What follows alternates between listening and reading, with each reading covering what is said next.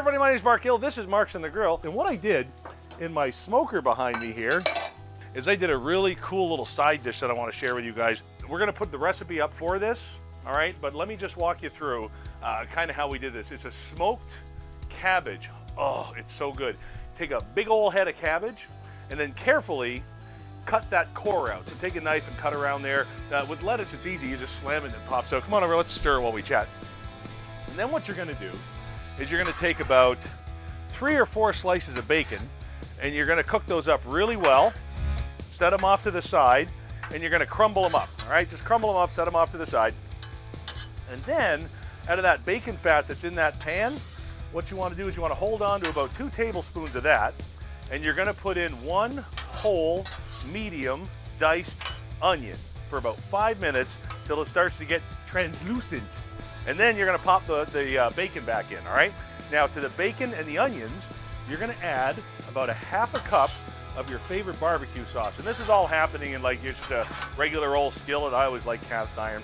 And once that happens, you guys, you mix up that barbecue sauce with the sauteed onions and the bacon crumbles, take that and pour it in to the cavity that you made taking the core out of that cabbage. See what I'm saying there? You take that core out, there's a big hole, you fill it up with the onions, the bacon, and the barbecue sauce, okay?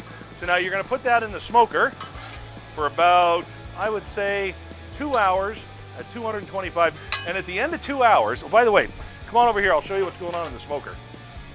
At the end of two hours, and by the way, baste it with uh, barbecue sauce maybe every 30 minutes. You're gonna go ahead, you're gonna take some tin foil, you're gonna make a little round base so it's got somewhere to sit. And then after you've had it in there for a couple hours, in the oven crank it up to 350, we got it out here at 320. You're gonna wrap from the bottom up in some nice heavy duty uh, tin foil, okay?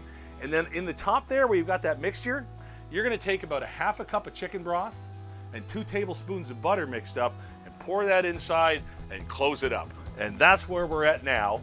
And it's been in there for an additional, I would say, about two hours. It might go up to four if you got a big old head of cabbage in there. But I got a feeling, I got a feeling that this one is ready. So I'm repurposing an old uh, uh, thing that we used to bake some pork in. And here we go. Oh, ho, ho, ho, you want to talk about a fantastic side dish. Here we go. Bacon, onions, barbecue sauce, just like that, all smoked up and nice. Oh, oh look at that, Trish. Isn't that nice? So here's what I'm gonna do.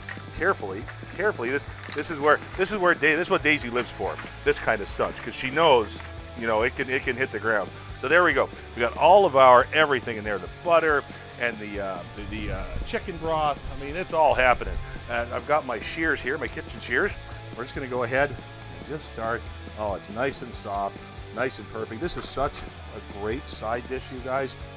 And we've got a nice hot coleslaw with bacon, onions, barbecue sauce. What do you think? Pretty tasty? You got one there? All right, I gotta get one here. All right, let's try this. Try this bad boy. Mmm. Mmm. That is so good. Oh my gosh, that's good. All right, let's set that over here for now. Beautiful. You can serve that hot, you can serve it cold, it's entirely up to you.